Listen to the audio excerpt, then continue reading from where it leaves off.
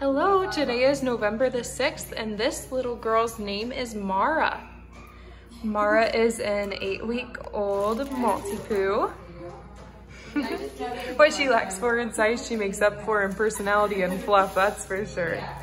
Um, she weighed one pound and 14 ounces today, so she is charting out to be around seven to nine pounds as an adult.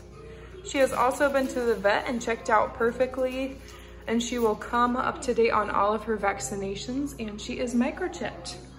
Try to get a better look at her face here. All right, this is Mara, thank you.